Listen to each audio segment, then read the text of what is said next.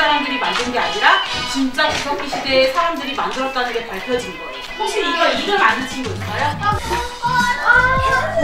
여러 면 석기라고 해서 여러 면이 다 깎아서 동그랗게 만들어서 여러 면 석기라고 해요. 최초의 불을 발견한 인류가 뭔지 아는 친구 있어 혹시? 어 맞아. 친구 말대로 불을 처음으로 발견한 인류는 호모 에렉투스야. 어.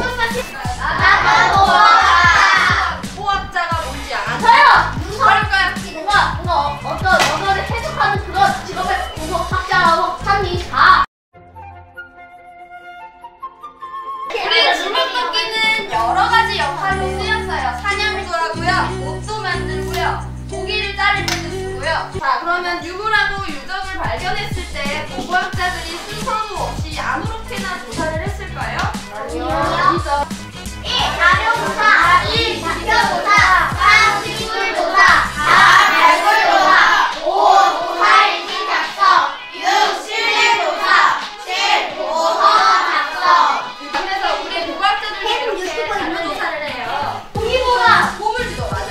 이게 강가 주변에도 많이 있어. 왜냐면 옛날 사람들은 우리 지금처럼 정수기에서 물 떠먹었을까? 우리 먹을 게 부족하니까 물고기를 잡아먹어야 되니까 강변에서 많이 살았어요. 시골조사는 이제 본격적으로 발굴을 하기 전에 먼저 시범적으로 발굴을 해보는 거야. 근데 우리 이 네모난 구덩이 속에 또 네모나게 들어있지. 저거 뭘까? 아니다. 땡골! 무덤! 무덤! 저기서 뭐가 나왔을까? 유적이 나왔어. 유물이 저기서 나왔어. 이렇게 시골조사를 했을 때 유물이 나오면 우리 본격적으로 뭘 하게 될까? 어, 파요. 맞아. 발굴을 하게 되지. 네, 친구들 직접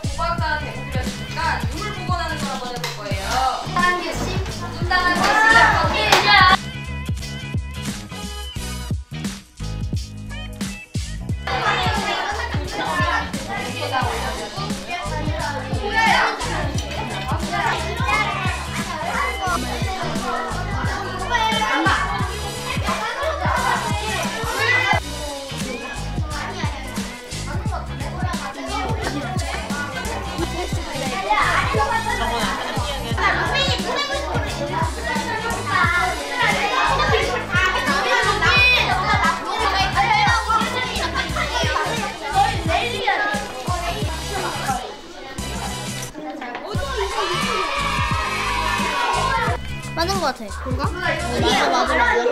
자, 오늘 우리 고고학자 수업 해봤는데 어땠어요?